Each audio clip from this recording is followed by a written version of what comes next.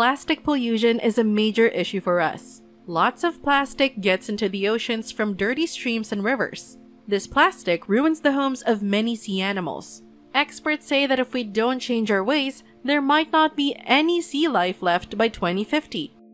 In this episode, we'll dive into the inspiring story of the ocean cleanup and their latest breakthrough.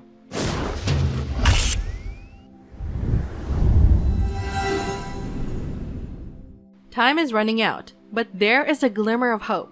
Right now, the biggest ocean cleanup project ever is underway. Enormous floating structures are being deployed to tackle the task of cleaning our oceans. But is this idea too far-fetched, or could it truly be the solution we need to save our oceans? Let's delve into the details and discover if this ambitious plan can become a reality and bring about the salvation of our precious marine ecosystems. 25 years ago, Captain Charles Moore made a horrifying discovery during his voyage in the Pacific Ocean. He stumbled upon a colossal mess of plastic, now famously known as the Great Pacific Garbage Patch. This gargantuan collection of plastic is like a swirling soup that moves in a circular pattern with the ocean's currents. It spans an area three times larger than France. Shockingly, the entire garbage patch is estimated to contain around 1.8 trillion pieces of plastic, which amounts to roughly 250 pieces for each person on Earth. But the distressing reality doesn't end there. There are four more of these massive garbage patches scattered across our oceans, and they are growing in size. The impact on marine life is devastating. The Great Pacific Garbage Patch alone directly harms over 800 species of marine creatures. They face entanglement, ingestion of plastic, and destruction of their habitats. Moreover, the threat of extinction looms over more than 100 species due to the alarming levels of plastic pollution. Ever wondered why nobody had taken the initiative to clean up the ocean? This very question crossed the mind of Boyan Slat, the visionary behind the ocean cleanup. It all began in 2011 when he was scuba diving in Greece and was shocked to witness more plastic than fish in the ocean. Determined to make a difference, he pondered over a solution, despite being just 16 years old at the time. Slat had a breakthrough realization.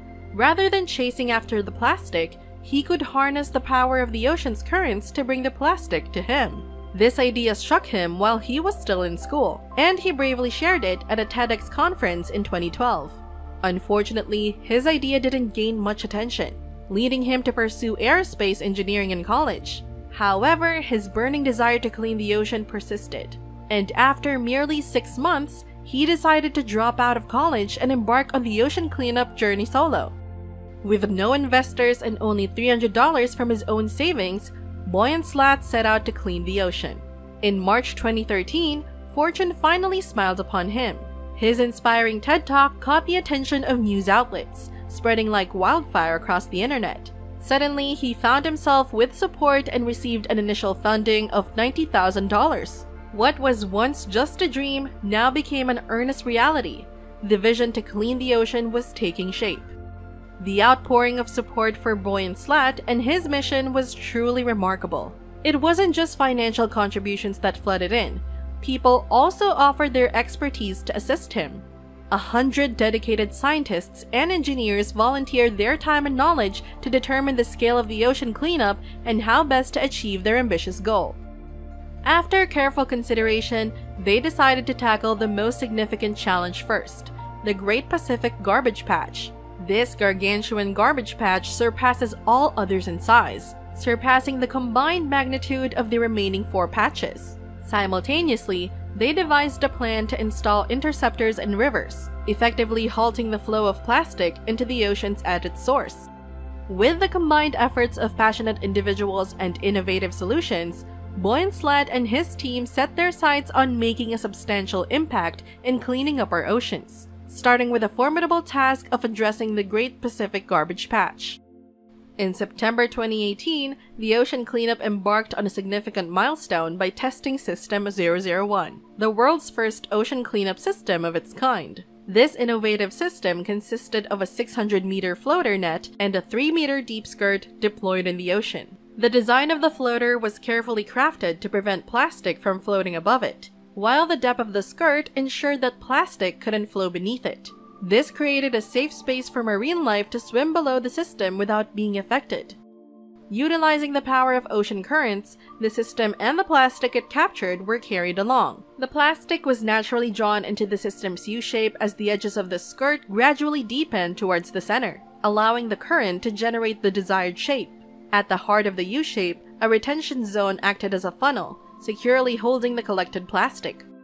To ensure effective monitoring, the system was equipped with solar-powered lights, cameras, sensors, and anti-collision systems. This technology allowed the ocean cleanup to track the system's progress and evaluate its success in real time. When the time came, a dedicated ship would journey to the cleanup system, collect the accumulated plastic, and transport it back to land. Once on shore, the plastic would undergo recycling processes to be transformed into new products, minimizing waste and maximizing sustainability.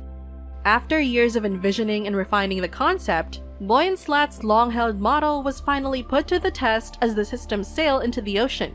The team eagerly awaited the results, hoping for a resounding success in their mission to combat plastic pollution and restore the health of our oceans. The initial model of the ocean cleanup system proved to be a disappointment as it failed to effectively catch and retain plastic, with a significant amount slipping out.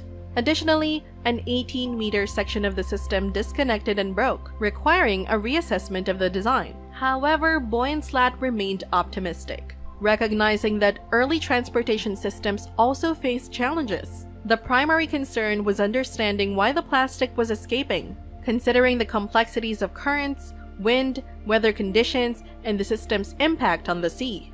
Despite setbacks, the team was determined to learn from these experiences, return to the drawing board, and find solutions to improve the effectiveness of the ocean cleanup system. By July 2021, a crucial upgrade was in order, leading to the launch of System 002. This time, the floater was towed at a speed of 1.5 knots by two ships positioned at each end. Amidst the chaotic nature of the ocean, having ships control the floater's speed brought a sense of order to the process preventing plastic from toppling over. Furthermore, the floater itself was extended to 800 meters in length, making it one-third larger than the previous model. Another key objective of this upgraded system was to identify the target hotspots, recognizing that the density of plastic within the Pacific garbage patch varied. With higher concentrations closer to its core, the team strategically focused their efforts on these specific areas. By doing so, they aim to extract the maximum amount of plastic from the ocean, optimizing the cleanup operation. A year after its launch, System 002 showed promising signs of success. By July 2022, a significant milestone was reached as 100,000 kilograms of plastic were extracted from the North Pacific garbage patch, equivalent to the weight of two Boeing 737-800 aircraft. However, it was evident that there was much more work to be done.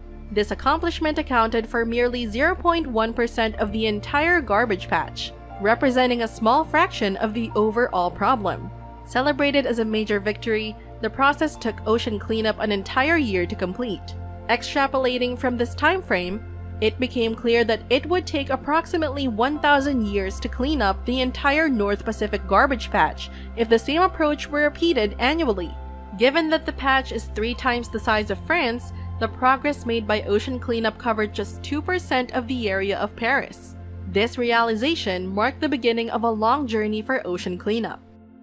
In response to this milestone, Ocean Cleanup expressed their readiness to advance to System 003, now referred to as System 03, building upon the validated technology and aiming for significantly higher plastic capture rates. System 03, which will be three times the size of its predecessor, will feature a floater approximately 2.4 kilometers long. With the potential to capture plastic at a rate 10 times higher than the previous version, System 03's increased size, improved efficiency, and enhanced uptime are expected to yield remarkable results. It is estimated that 10 such systems would be sufficient to clean the entire Pacific garbage patch. Notably, Ocean Cleanup made adjustments to the naming and operational aspects of System 03. Initially envisioning the need for hundreds of systems, they now recognize that fewer than 100 systems would be required, prompting the removal of a zero from its name. In terms of boats, System 03 will involve three vessels, two dedicated to holding the system in place, and one for collecting the plastic as the operation progresses. These boats will continuously rotate their positions, with one boat returning to shore every two weeks to be replaced by another boat carrying fresh supplies and with a new crew. As we come to the end of this video, we hope you found it informative and inspiring. The Ocean Cleanup and System 03 are shining examples of the dedication and innovation needed to tackle plastic pollution in our oceans.